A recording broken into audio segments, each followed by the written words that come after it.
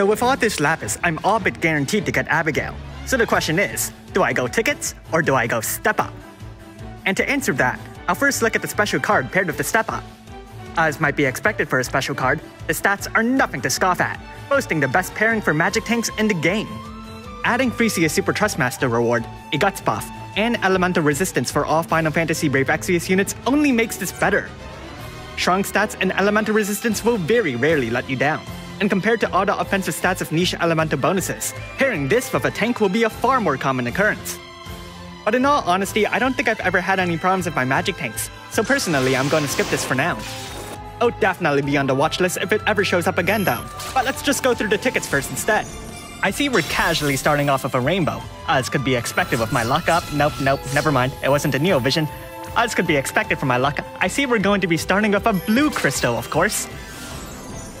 Which will turn into a gold crystal, which will then turn into. And what comes after gold? A rainbow! Nope, okay.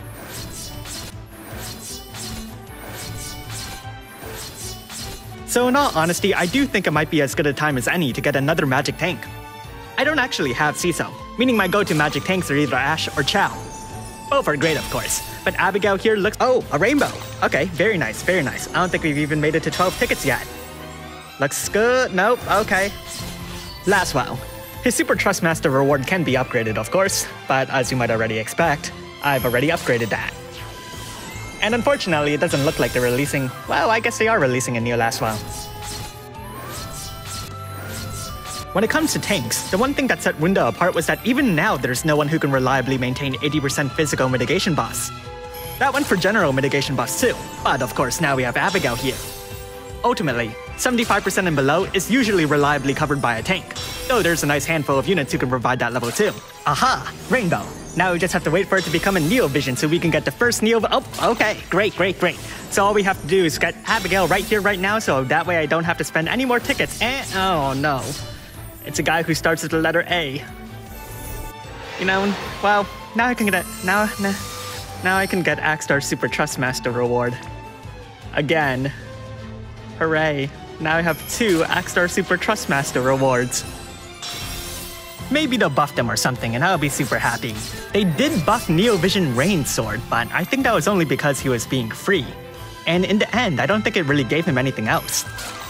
Yeah, I don't remember any extra passive effect like bonus attack or something, so I don't think this Axstar will get. Mm, nope. A Leon. Let's see, Final Fantasy II.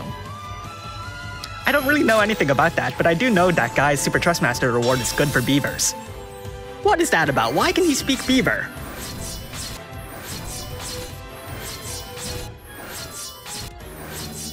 Put more things into perspective. It's not just the mitigation levels. Abigail's cover values are actually much better than the other three tanks too. Charlotte, CISO, Ash, all of them are from like 65 to 80%. Chao is 70 to 85% too, but his mitigation levels are actually much lower, 60% as compared to, say, 75% or 70% under limit burst.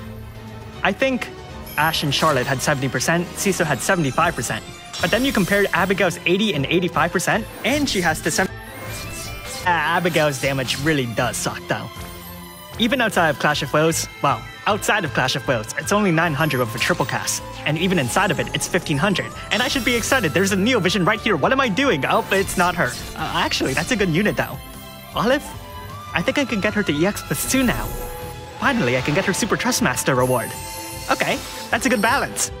If it weren't for the fact that uh, I messed up with two Neo Visions now. One third drop rate, okay. Which means the next time, well, the last time I said that, I also ended up not getting the featured unit and had to go to the pity.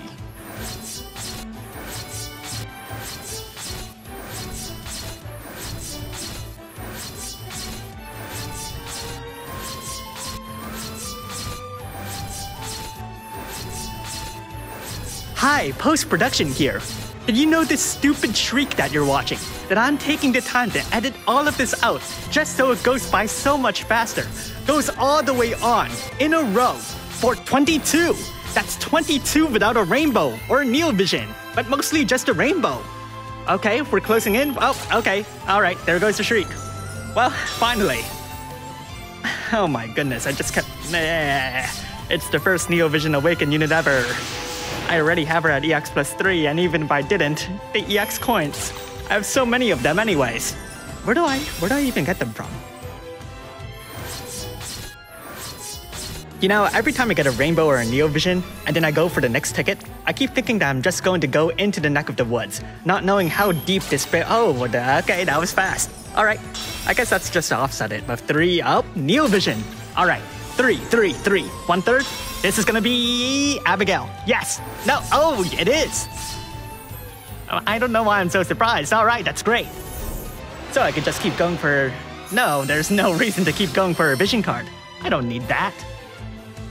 Eh, if I think about the other vision card, the Lilith one, the special one, I didn't get that one either, but I haven't needed it either, either. Either, either. Anyways, the regular cards are good second places too. So I guess that's it for today.